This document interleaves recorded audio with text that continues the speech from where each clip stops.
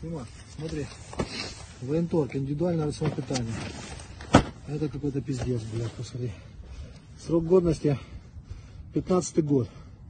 15 блядь, ты понимаешь? Куда бросили этих пацанов? Так, подними на него, смотри. 15 год. Что там, блядь, чтоб не думали, что это хуйня какая-то. Тушенка, хуенка, короче, блядь, просроченные пайки, вот ваши, смотрите.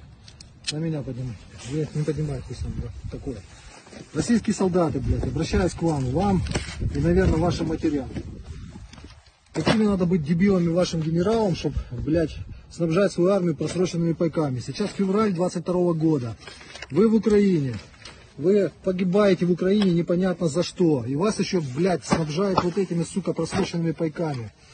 Матери российские, заберите своих детей отсюда, пока мы их не побили тут всех, блин, пока они не сгнили тут все. Мало того, что будут убиты, еще будут обосранные лежать тут. Просроченные пайки, блядь, 15 года. Вы понимаете, насколько, что они им дают? Как они вообще, они не думают о ваших детях вообще нихуя. Фу. Слава Украине, героям слава!